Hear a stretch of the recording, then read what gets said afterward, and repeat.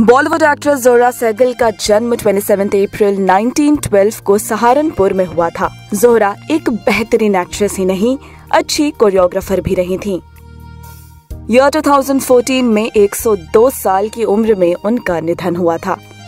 वो एक पारंपरिक मुस्लिम परिवार में जन्मी थी। आखिरी बार जोरा सैगल ने साल 2007 में संचरीला भंसाली की फ़िल्म सावरिया में काम किया था। साल 2010 में भारत सरकार ने जोहरा को पद्म विभूषण से सम्मानित किया। आइए जानते हैं जोहरा सहगल के बारे में कुछ दिलचस्प बातें।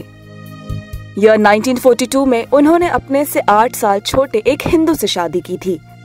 जोहरा और उनके पति उदय शंकर एक डांस ग्रुप में थे और भारत में इस एकेडमी के बंद होने तक इसमें शामिल रहे।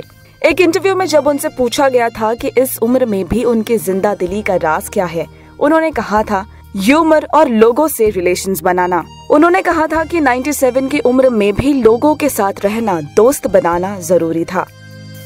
जोरा सैगल को भले ही फ़िल्म और टीवी ने बेशुमार शोहरत दी, पर उन्हें बतौर अभिनेत्री थिएटर में संतुष्टि मिलती थी। थिएटर से उन्हें प्यार था, हालाँकि फ़िल्में कमाई का अच्छा ज़रिया थीं।